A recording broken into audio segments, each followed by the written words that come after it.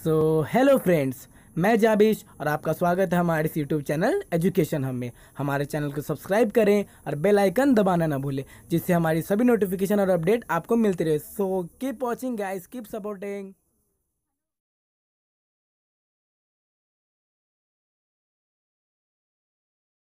हमारा question number 1.20 आइए question पढ़ लेते हैं। A point charge causes an electric flux of minus one point zero into ten to the power three newton metre square per coulomb to pass through a spherical Gaussian surface of 10.0 centimetre radius centred on the charge दो question है इसमें। पहला question ये कहता है if the radius of the Gaussian surface where doubled how much flux would pass through the surface और B number ये कहता है what is the value of the point charge तो चलिए चलिए सॉल्व करते हैं इस क्वेश्चन को। सबसे पहले क्वेश्चन क्या कह रहा है कि इसमें फ्लक्स दे रखा है। फ्लक्स कितना है? तो five is equal to minus one point zero into ten to the power three newton metre square coulomb inverse, ठीक है?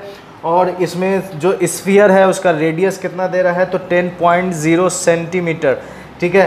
पहला नंबर ये कह रहा है कि अगर हम आर को न्यू आर को डबल कर दें, ठीक है? आर डैश मतलब न्यू आर को डबल कर दें तो फाइव क्या होगा?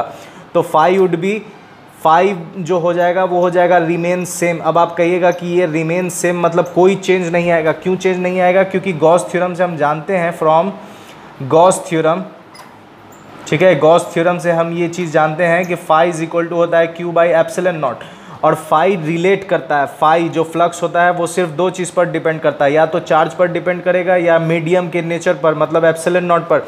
ये साइज़ या आर पर डिपेंड नहीं करता। इस वजह से ये चेंज नहीं होगा।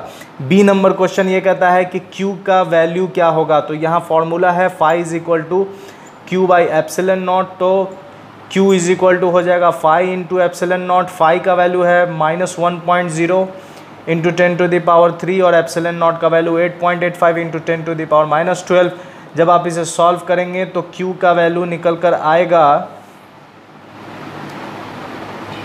minus eight point eight five into ten to the power minus nine coulomb और ये इसका आंसर है।